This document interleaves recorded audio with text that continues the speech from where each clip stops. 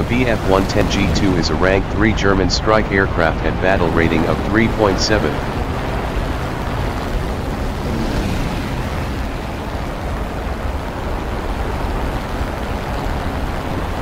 The Bf-110G2 is incredibly versatile due to the variety of offensive weapons which can be selected. Depending on the weapon loadout chosen, this strike aircraft can take on the roles of attacker, bomber, and even bomber interceptor. Though the Bf-110 can take on fighters when the opportunity comes up or is necessary, caution must be taken as any single-engine fighter will likely outturn the Bf-110 and maneuver into an attack position, effectively reversing roles. When compared to its predecessors, the C-7, F-2, and the G2 is a noticeable upgrade in flight.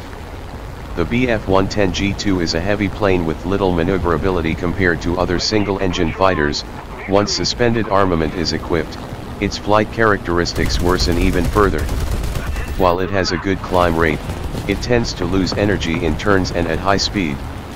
This aircraft can effectively take on different roles, depending on the map played or the targets intended. Knowing the maneuverability challenges faced with selecting the various armament loadouts will help the G2 pilot ensure to avoid areas of the map where they will be at a major disadvantage and ensure effective use of the ordnance on board. In ground realistic battles, the Bf-110G2 is a fantastic multi-purpose plane being able to carry various bombs, additional guns, rockets, or nothing, allowing it to perform both ground attack and air superiority roles.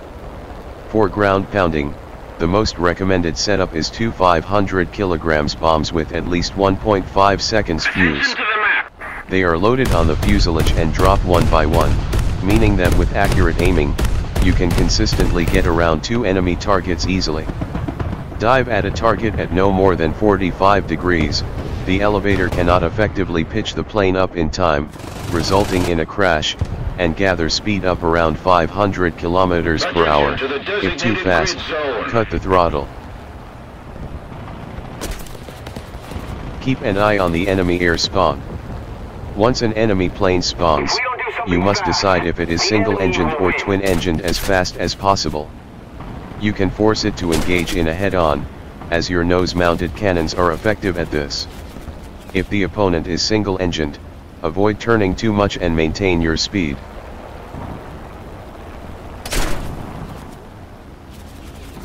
If necessary, use your tail gun and put a stray of 7.92mm bullets into it, but remember to use the armored target's belt to compensate for the small caliber.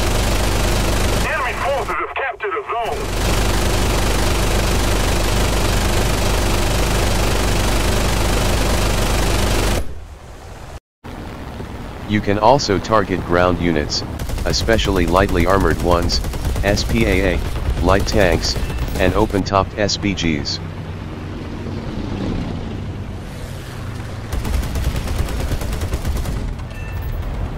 Thanks for watching and as always don't forget to like, share and subscribe.